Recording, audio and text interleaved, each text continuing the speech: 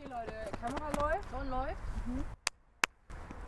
Jonas, wo geht's heute hin? Heute geht, heute an diesem wunderschönen, leider noch etwas frischen Samstag geht es zu den internationalen deutschen Meisterschaften im Schwimmen. Okay, und ähm, was ist das Thema? Du bist ja nicht, ich glaube, du bist nicht besonders sportlich, oder? Nicht sportlich bin ich an sich überhaupt nicht. Gerade aus Laufen fällt mir schon schwer. Und deswegen habe ich mir gedacht, wir nehmen noch ein anderes Thema mit ins Boot und zwar das Thema Inklusion. Und heute treffen wir echt coole Leute, mit denen können wir über dieses Thema quatschen.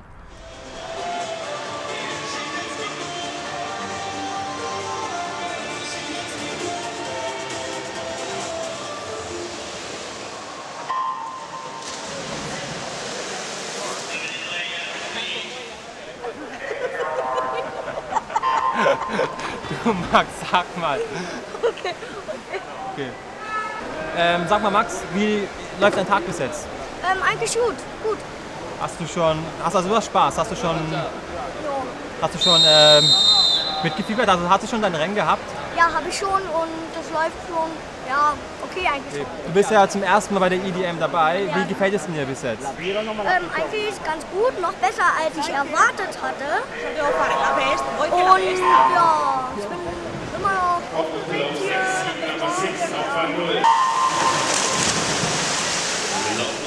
Tom, die EDM findet ja zum 29. Mal statt. Das ist eine beachtliche Summe.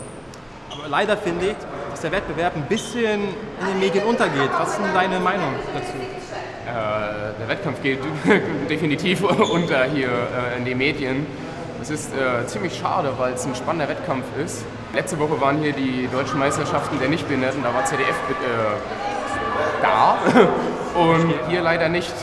Und es ist schon, dadurch geht halt dieser Wettbewerb unter, da keine öffentlichen Fernseh- oder äh, Zeitungen hier groß äh, berichten. Ja. Das Thema Inklusion ist aber in den Medien doch präsent. Meinst du trotzdem, dass das überhaupt keinen Einfluss hatte bis jetzt auf den Wettbewerb? Ja, Inklusion ist immer so eine Sache. Also ich habe damals schon im Nichtbehindertenverein trainiert und das ist jetzt auch schon gut 10 Jahre, 15 Jahre her und das war auch schon Inklusion. Bloß damals hat noch keiner ein Wort Inklusion dafür gefunden. Also Du müsst ja natürlich aber den Leuten nochmal irgendwie näher bringen und deswegen ist der Ansatz ja irgendwo auch gut. genau, der Ansatz ist gut und so, dass es auch in der Öffentlichkeit dann so weitergetragen wird, ey, ja, hier starten Behinderte gegen Nichtbehinderte, haben wir auch öfters mal, wenn wir hier Landesmeisterschaften Berlin-Brandenburg machen. Wie, war, wie ist denn für dich so die Entwicklung von Inklusion in den letzten Jahren? Wie hast du die wahrgenommen? Ja, wie soll man sagen, also es hat sich schon einiges verändert. Also es wird auch sehr viel darauf geachtet. Auch in den Medien sind jetzt auch mehr Menschen mit Behinderung. Zum Beispiel die Bordsteine werden teilweise runtergesetzt. Äh, ansonsten finde ich, hat sich nicht so viel getan. Also es, kann, es könnte ein bisschen schneller gehen. Richtig. Also musst du den Leuten irgendwie in den Arsch treten, hey, zu Hause, den Leuten in den Medien, hey, dieses Thema ist cool, warum packt ihr das nicht an? Naja, es ist nicht cool, es ist eher ein Muss. Stimmt. Es wird immer Menschen mit Behinderung geben.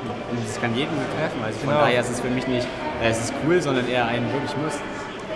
Stimmt, vollkommen, da gebe ich dir vollkommen recht.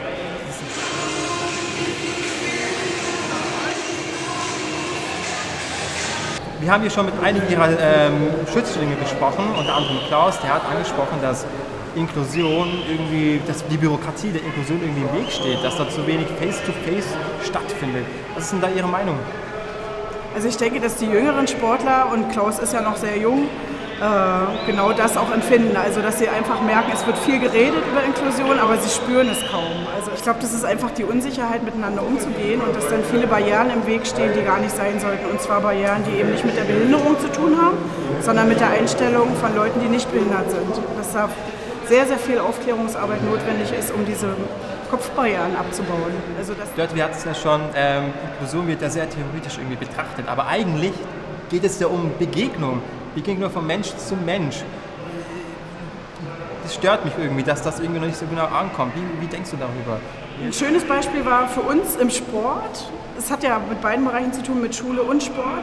Äh, war der Film Gold, damals an der Sportschule in Potsdam. Wir haben äh, eine Kinoveranstaltung gehabt, ähm, wo dieser Film vorgestellt wurde, wo es um behinderten Leistungssportler ging. Aber durch diesen Film ist eine Welle losgegangen an Verständnis und an Schulterklopfer und also es war Also braucht man das war Emotion pur und diese Emotion hat diese Inklusion gefördert, weil wir machen Inklusion an der Sportschule, weil es sowieso stattfindet.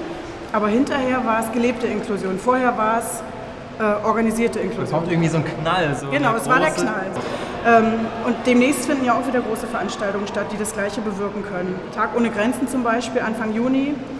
Da begegnen sich verschiedene Leute Genau. und machen zusammen verschiedene Aktivitäten in Hamburg, und äh, dementsprechend kann man das fördern. In der Hoffnung, dass das auch wieder so eine Welle nach vorne kommt. Super, dann äh, danke ich Ihnen. Ich wünsche Ihrem Team noch viel Spaß. Ich Dankeschön, ja, die schwimmen gerade.